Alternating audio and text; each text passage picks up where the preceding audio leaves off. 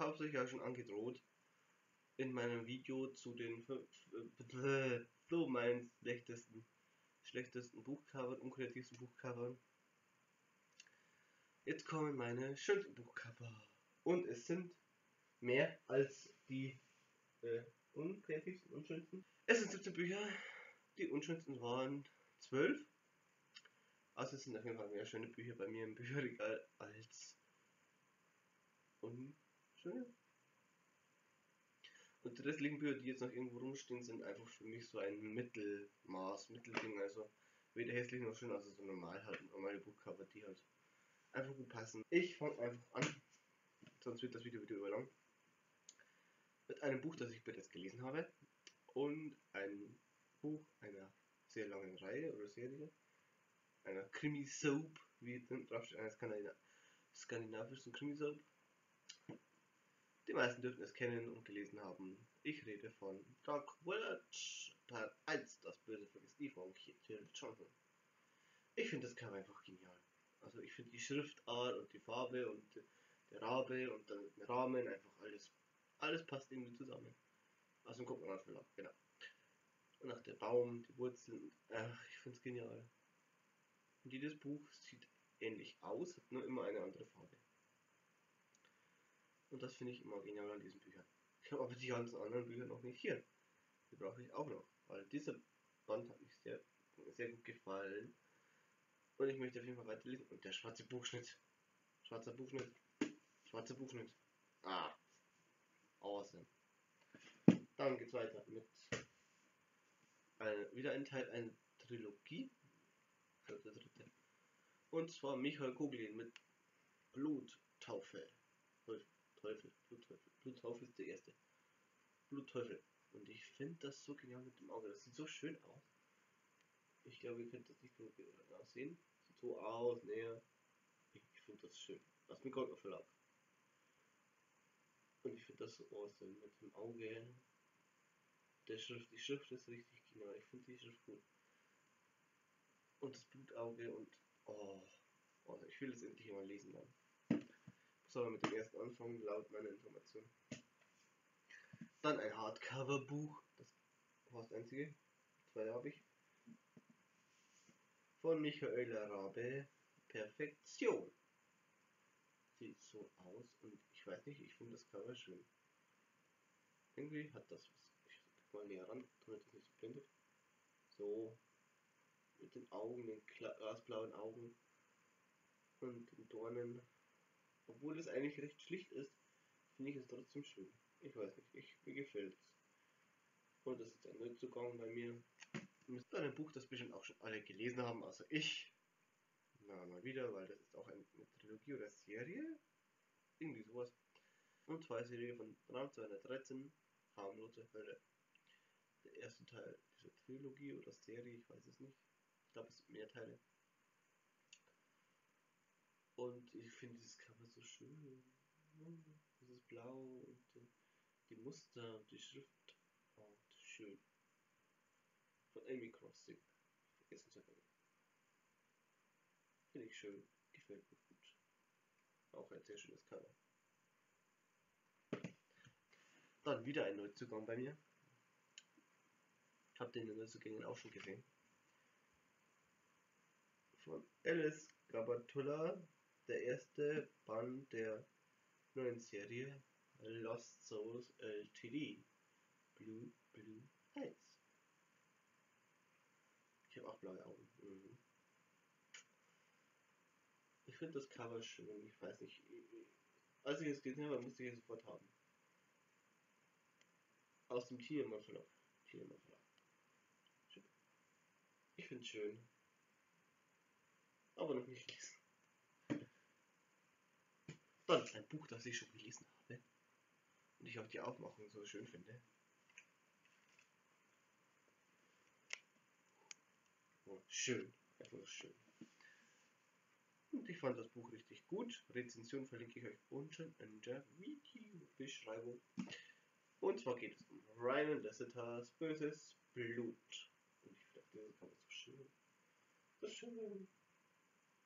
Das Rot und ganze Wurzeln und Ästen und einfach schon ins Haus. Mir gefällt's. Ich find's gut. Aber Meinungen sind ja unterschiedlich. Manchen gefällt es vielleicht auch nicht.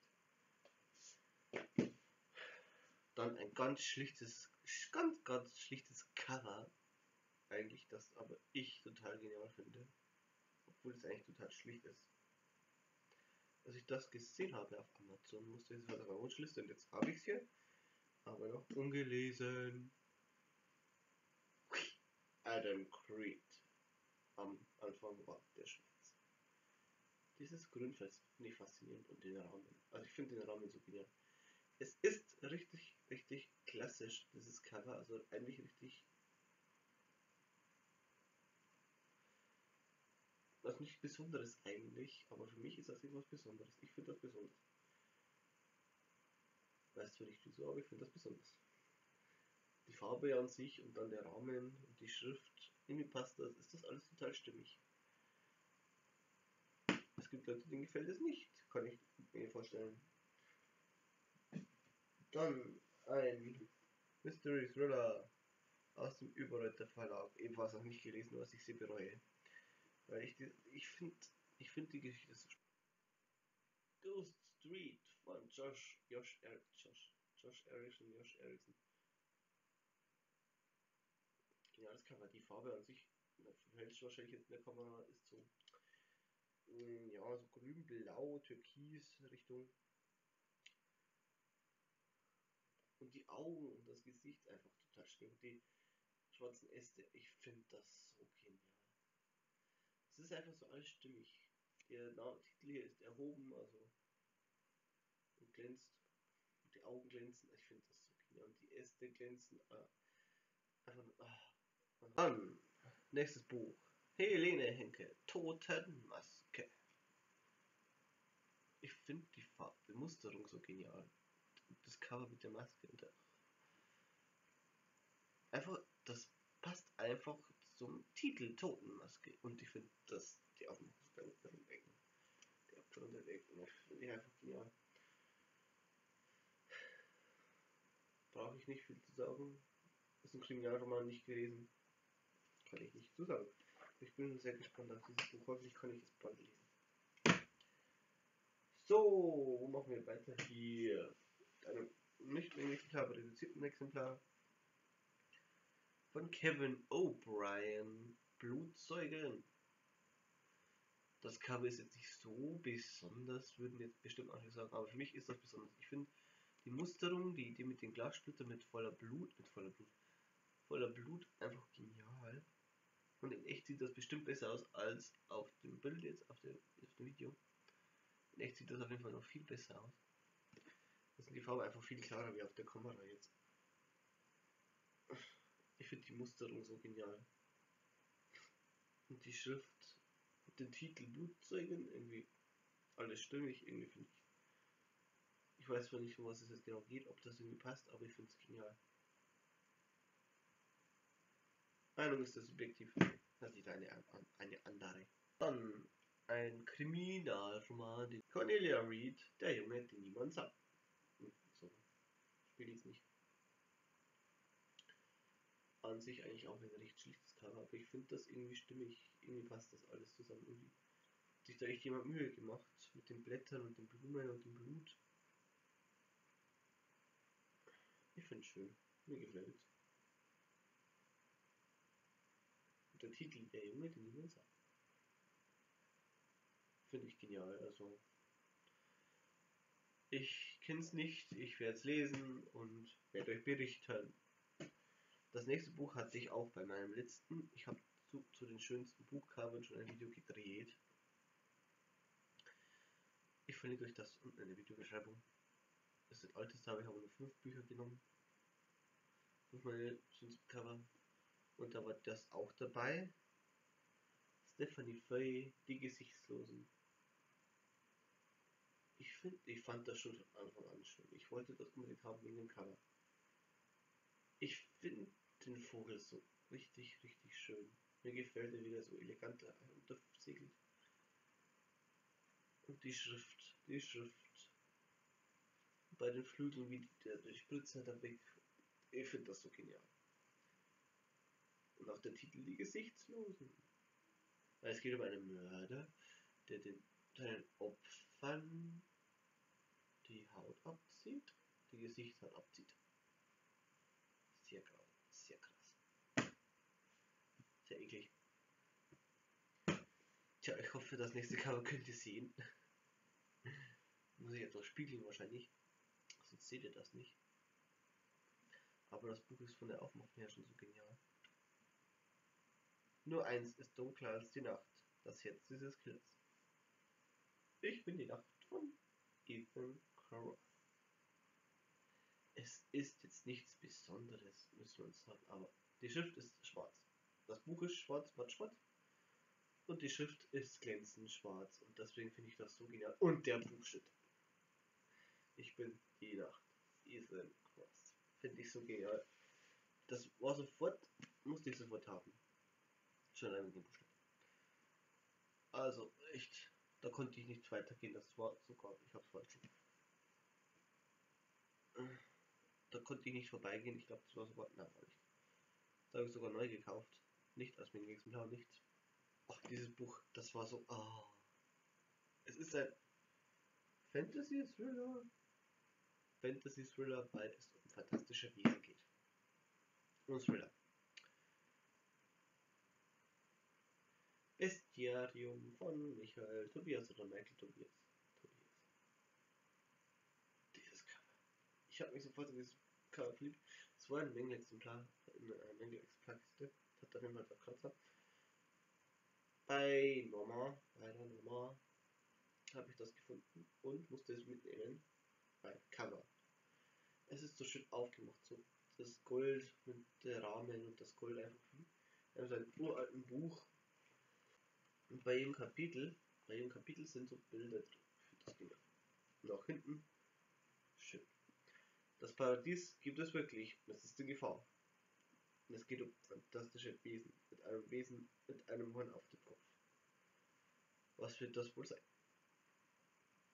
Das Tier war weiß und es hatte nur ein Horn mitten auf der Stirn. So. Jetzt überlegt, was ist das für ein Tier? Und jetzt kommen wir eigentlich zu meinen drei Highlights, müsste man sagen, könnte man sagen. Naja, das ist jetzt eher nicht ein Highlight. Aber ich war ein Coverkauf. Einfach ein Coverkauf. Und, und auch ja, in der Geschichte. Silenus. Silenus von Robert Jackson Bennett. Coverkauf. Definitiv Coverkauf. Ich finde das genial mit das Gesicht mit dem blauen Auge so einfach so mysteriös, so unheimlich irgendwie. Und das Auge glänzt. Ich finde das genau das Auge glänzt.